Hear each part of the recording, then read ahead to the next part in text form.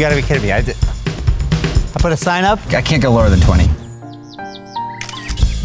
Like, what do you want? We could clean it. Pretty good haul for me today. I mean, I sold the TV. How did you do?